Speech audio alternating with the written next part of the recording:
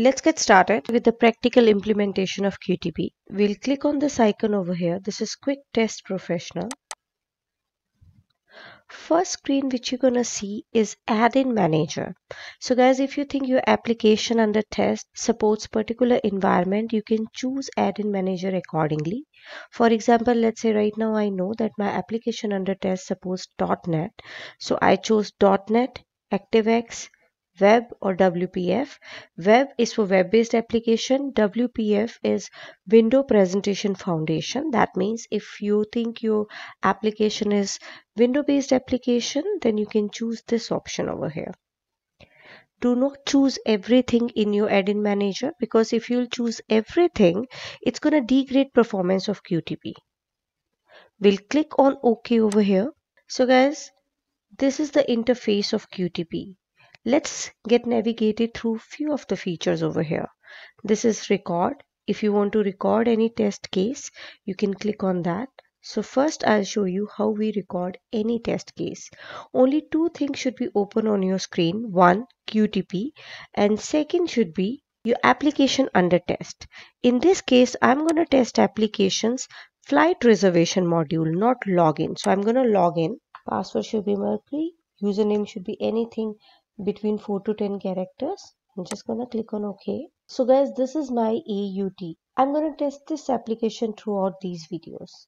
So this is date of flight, fly from, fly to. So I will be navigating you through this application with first recording. So let's see how to record any test case on a particular application. I'll click on record over here. So first I'm going to choose Windows based application and I'm choosing this record and run test on any open Windows based application. So if you have any Windows based application open, it's going to get executed on that. If you want to run your test case on a particular application, you can choose this and add the address of your application over here. Then automatically it will go to that application and you can start recording it. So right now I just want to record flight reservation application so I'm choosing this because if I'll choose this option and I add flight application, it will start from login. I don't want to start from login. I want to start from flight reservation. So I'm choosing this. Click on OK. You are in a recording mode. You can see this option over here. Recording started. I'm activating my screen and here adding date, fly from, our fly from and fly to should not be same. Choosing flights. So you can check your criteria and choose flight accordingly. Here we will be providing name. Choose number of tickets. So tickets cannot be more than 10 at a time. This is a condition on this application. Choosing class, clicking on insert order.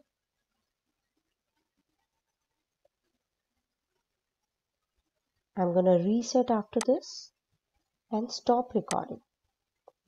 So guys, look at this. You have two views. One is called expert view and another is called keyword view. So guys, expert view, as the name suggests, it has all the programming over here. This is VB script. If you are good in VB script, you can use this view. But let's say you are manual tester just shifted to automation testing. You don't have much idea about VB script you do have this view called keyword view. So QTP took care of all type of users. If you're manual tester, this is your view. If you are automation expert, automation specialist, you already have very good hold on VB script. You can use this particular view. So both of the options have been provided to you by QTP. Now guys, this is the recording. You can see these are the objects we have. These are the operations on it this is the input data and you have this documentation. Documentation have all the steps over there. Make flight reservation window active. Type this date in the MaskEdBox active activex object. So qtp will create documentation automatically. Now all this information is being stored somewhere. So as we understood that qtp works on record and run feature Obviously, it recorded everything, but where the recording is stored now, what is considered to be as brain of QTP. So guys, brain of QTP is object repository, which is here. When you click on resources, this option here, object repository we'll click on that look at this all the objects which you have recorded are stored here guys if any of the object is not here and you want to perform any operation on it you cannot do that because memory of qtp will not recognize that object. So let's say one of the object is not there and you want to write any operation on it you have to first add that object over here then only you can write any operation on it. So this is must this is mandatory. Now let's understand some features of qtp's object repository. First over here is called Object Spy. Object Spy will help you to find out properties of object in your AUT. Let's see how it works. So I'll click on that. This hand icon will appear. We'll click on this. Your application will come here. So look at this. Name, class. You will see all the object properties related to it. So if you see name here, look at that. It is under window and this is win edit and name is attached text if you read here I'll just click on it. Attached text is name. So you can see all the properties x-axis y-axis what is height of this particular box. So all these properties you can see. Guys how you are able to see all these properties? Because you in the beginning you selected .NET as add-in manager. That's how QTP is able to recognize its environment. So add-in manager is very important. So here with the help of object spy you can get properties of all the objects and accordingly you can write any operation on it. So this is what object spy is. Now next option over here is locate in repository. So guys sometimes it happens that you you're not sure that whether that object is there in your repository or not. If it is there in your repository where it is located sometimes all objects have same name then how to find out where this particular object is located? Let's see how it works. So locate in repository helps us to find out the object in your repository. So let's say i click on that. Choose any of the object here. So i'm going to choose this price. And i know i have not recorded price. So price should not be there in my repository. So this is how you can locate whether this particular object is there in your repository or not Let's say now I want to perform some operations on price. But first I have to check whether price is there in my repository or not. Because as I have told you, you cannot perform any action if object is not there in your object repository. So let's see, I want to see whether price is there or not. So I'll click on this object. I'll click on OK. See, cannot locate this object in the object repository. So now I know that this object is not there in my object repository and if I want to perform any operation on it, I need to add it in my object repository. Now let's see, I'm going to now show you something which is there in my object repository. So let's say name. Look at this. Name got highlighted that this object is there in your repository. So guys, this is what locate in repository feature do. Now next option over here is highlight in application. Um, if let's say in my object repository, I'm not sure that what is this object. It's written button, but which button it is? I want to highlight this object in my application. So this is what highlight in repository is. So first you will select that object which you want to highlight and then you will click on this option highlight in application. Look at this this got highlighted that this button is actually this reset button over here. Let's try it again. Now I'm going to choose something which is more prominent to see. So name as a highlight. Look at that. That object will be highlighted in your application. Now next is define new test object.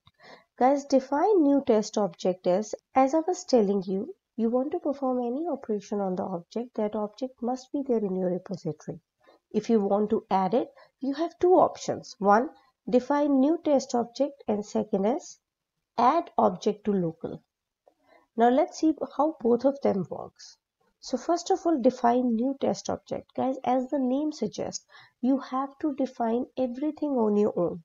Let's say scenario is that some new object will be added to this application but this object is not there right now in the application but for future I want to add that object over here which is right now not there in my application. So I need to define it from the beginning with everything. So look at this, how it works. You need to define environment on your own. So let's say I'm saying it is standard Windows. Now I need to define the class also. So whether it is an edit box, it's a combo box. So let's say edit box. And here you can write down the name. So guys, in this case, probability of mistake is really very high because what if I misspelled it? Maybe you know I'm not choosing the right class because this object I'm adding from my side. So now you can click on add and see price is added here. So guys as I've told you there might be probability of mistakes in this case because you are defining it from the beginning on your own but this is not the option if you already have this object there in your application. Like right now I have price in my application. I already have this price object in my application. So if you already have object in your application then the best option is add objects to local. I'll show you how it works. So I'm just gonna delete this already added object. And then I use this option to add price so I'll click on that. Look at this. I'll get the hand icon. I'll go ahead and click on price. Click on OK. See, price will be automatically added with all the properties. So this is the best way to add object in your repository if you already have this object in the application. Last is update from application. This feature is really very important and interesting why we use it how we use it i'll let you know. So guys let's say if there is a change of requirement. Now client have decided that earlier name of the object was name but now i want to change it to customer name. So if i'll run this particular recording on customer name definitely it's gonna fail. Because in my object repository name of the object is name but in my real application name of the object is customer name there will be contradiction and it will fail. So if you face these type of situation which you really want to face a lot because there will be a lot of change of requirements. So if you face these type of situations then the best option is update from application. I'll show you how it works. So i'm going to open application in which name of this particular object is customer name and then we will run this recording on that application. I'll show you how. So we go to my computer C drive program files HP samples. So this is the application. If you open this let's say so condition is same. Username should be 4 to 10 and password should be mercury Click on OK.